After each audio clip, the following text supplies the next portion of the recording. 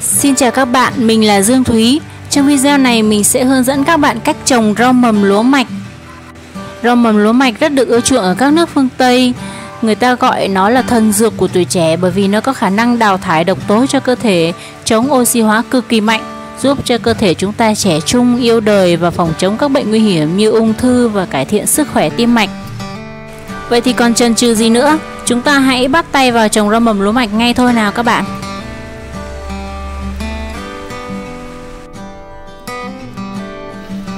Để trồng rau mầm lúa mạch chúng ta cần phải có hạt giống, một chiếc chậu trồng rau mầm, giá thể và bình tưới phun sương các bạn nhé. Giá thể có thể là sơ dừa, đất, mùn cưa đều được các bạn ạ. Trước tiên thì chúng ta cần ngâm hạt giống lúa mạch trong 8 tiếng các bạn nhé. Có thể ngâm bằng nước lạnh hoặc nước ấm, nhưng ở đây thì à, mình sẽ dùng nước lạnh. Chỗ hạt giống này là 50g các bạn ạ. Thường thì mình sẽ ngâm vào khoảng 9 hoặc 10 giờ đêm để sáng hôm sau mình vớt ra là vừa. Sau 8 tiếng thì hạt lúa mạch của mình nó nở ra như thế này và nó có một chút mầm trắng trắng ở đầu đấy. Mình sẽ vớt ra rửa sạch và để cho ráo nước.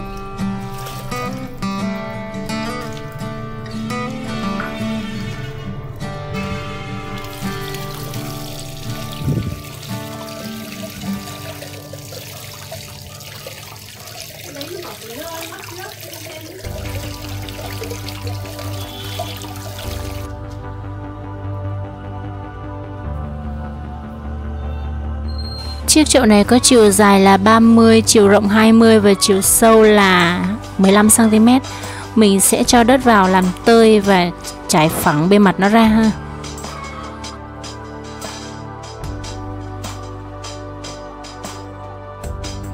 Mình sẽ rải đều hạt giống trên bề mặt đất. Rải càng đều tay thì càng tốt các bạn ạ. Sau khi rải xong thì mình cần tưới ngay bằng bình xịt phun sương nhé rồi cứ cách 4 tiếng một lần thì mình lại tưới.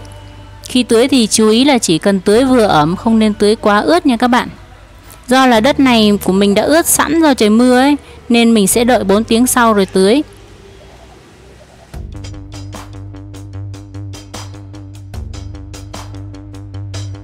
Sau khi hoàn thành công đoạn rải hạt giống và tưới nước thì mình sẽ đậy kín cái chậu này lại bằng một tấm bìa cạc tông. Mình sẽ đặt khay rau mầm vào chỗ mát và chúng ta hãy cùng chờ đợi kết quả nhé.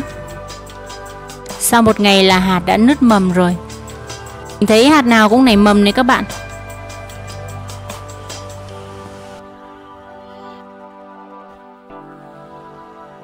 Sau đó mình lại tưới nước cho nó Nhớ là điều chỉnh tia nước sao cho mịn nhất có thể nhé Tưới xong mình lại đậy lại bằng cái tấm bìa cạc tông tiếp Chỉ cần đậy trong hai ngày đầu thôi các bạn ạ Đến ngày thứ ba thì không cần các loại rau mầm nói chung chứ không riêng gì rau mầm lúa mạch có tốc độ lớn cực kỳ nhanh. Mỗi ngày nó phải dài thêm được 1cm đấy các bạn. Nếu mà các bạn đặt ở trong chỗ mát mà không có ánh nắng thì nó còn dài nhanh hơn cơ. Sau 2 ngày thì mình sẽ đặt cái khay rau mầm này ra chỗ nắng các bạn nhé. Đây là kết quả của ngày thứ ba. Cây rau mầm lúa mạch ấy thì chẳng khác cây lúa ở chỗ nào hết á. À, nó có khác ở cái chữ mạch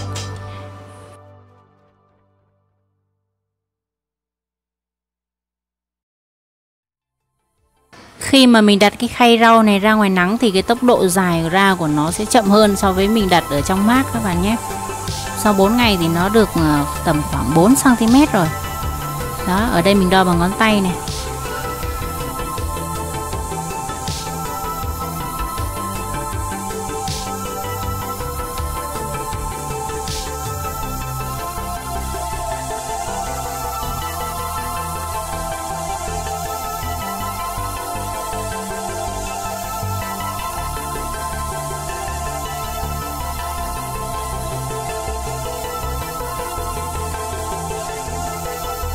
Và đây là kết quả của những ngày tiếp theo.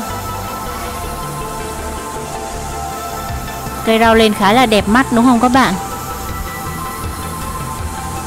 Thông thường ấy, thời gian trồng rau mầm lúa mạch sẽ khoảng từ 9 đến 10 ngày. Nếu mà các bạn thu hoạch trong cái thời gian 3-4 ngày đầu thì nó rất rất là ngọt luôn. Nhưng mà nó lại ngắn. Sau 10 ngày ấy là thời gian hợp lý nhất để mình thu hoạch rau mầm. Đừng quên tưới nước mỗi ngày nhé các bạn nhé. Nếu mà không tưới nước là rau nó sẽ quắt đi đây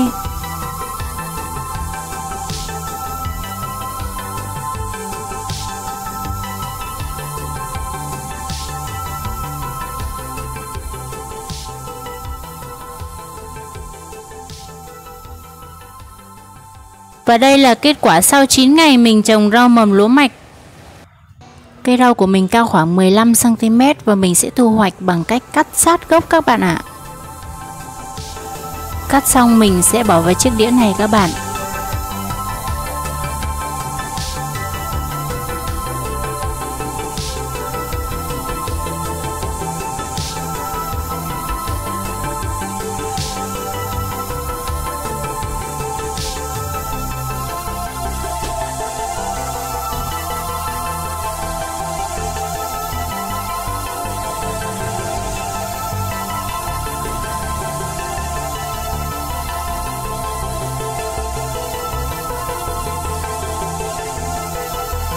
Và đây là kết quả của mình.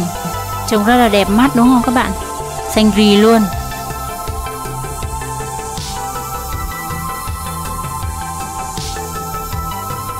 Mình ăn thử một nhúm xem thế nào. Rất là ngọt luôn, nhưng mà lại có bã.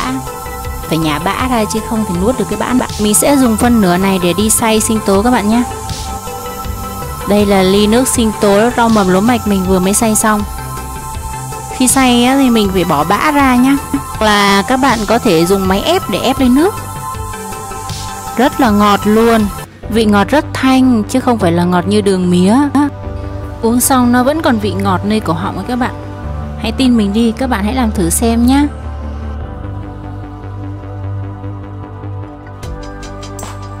Tới đây thì mình xin kết thúc video tại đây. Cảm ơn các bạn đã quan tâm theo dõi. Đừng quên like và đăng ký kênh của mình nhé. Chào tạm biệt các bạn và hẹn gặp lại các bạn trong những video tiếp theo.